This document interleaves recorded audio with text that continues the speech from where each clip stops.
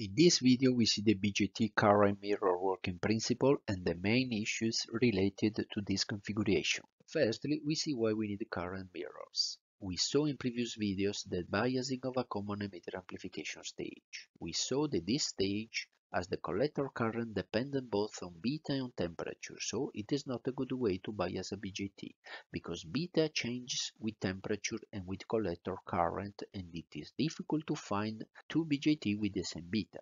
Therefore, in order to avoid this beta dependency, we put an emitter resistor to create a negative feedback.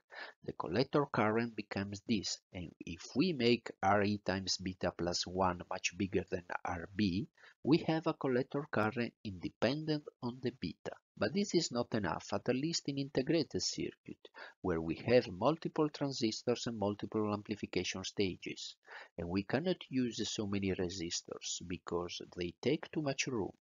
In integrated circuit, you prefer make resistor from transistor, which are smaller. Another problem is the dependency on the power supply. Think of a smartphone battery which slowly discharges itself, thus changing the bias of the transistor. So a better idea is biasing the transistor with a current source. If the current source is good, so its reference current is stable and independent on temperature and it has a very high output impedance, we solve the problem. But good current sources, like a band gap current source, are pretty complicated circuit, and we cannot put a current source on every transistor we need to bias. So the solution can be making a very good current source in the integrated circuit, which we can call a golden current source, to create a reference current and spread it wherever we need for biasing purpose through current mirrors which make multiple copies of the reference current. In this way we replicate our reference current in different parts of the circuit. Of course, a copy can be also a fraction or a multiple of the reference current, and it has to be also temperature independent and load independent, so it has not to change if the load changes. So we imagine to have a very good current source with a very stable IREF and we want to replicate it or to mirror it to another part of the circuit. Since we have a current, we can convert it to a voltage through this BJT in diode configuration and then converting this voltage to another current through this other BJT. We call Q1 and Q2 the transistors and IC2 is the collector current of Q2, so our mirrored current.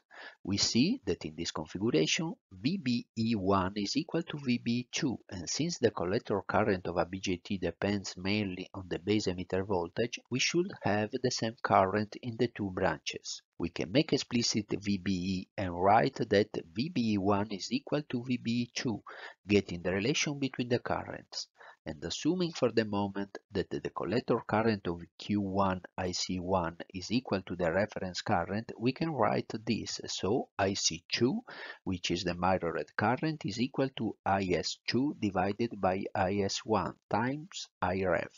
So if IS1 is equal to IS2, the mirrored current is equal to the reference current.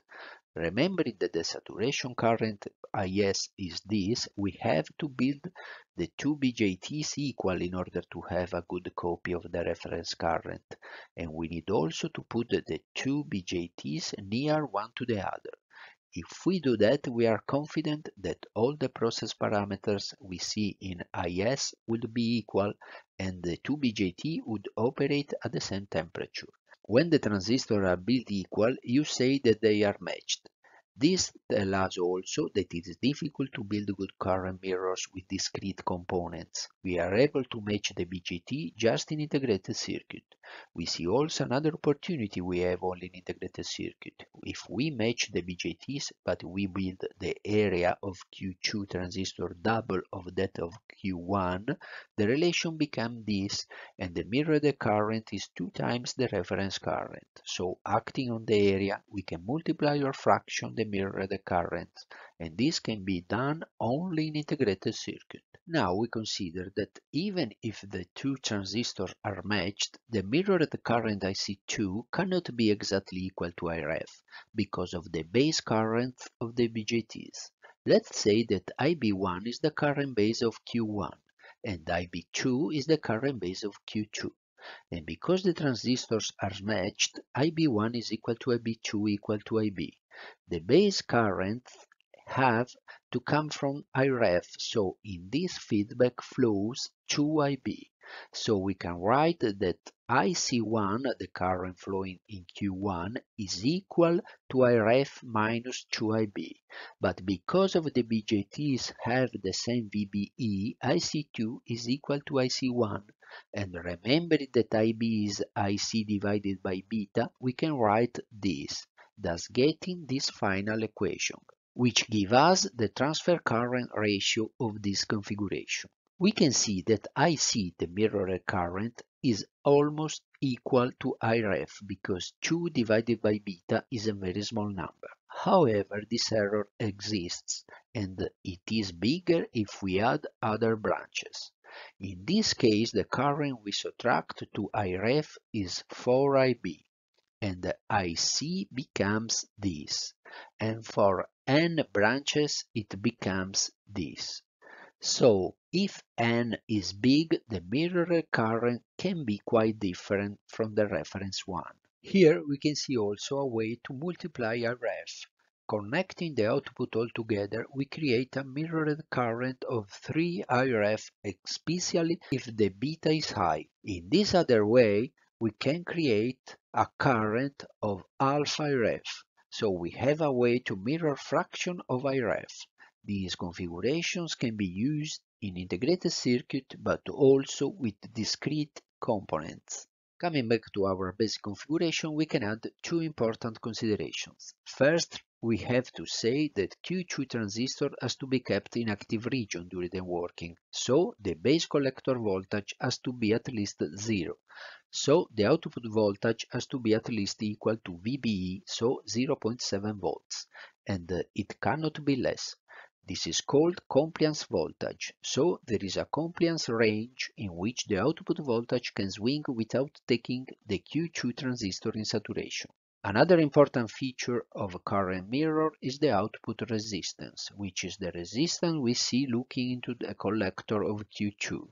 The resistance is related to the ability of the mirror to keep the output current stable regardless of the load.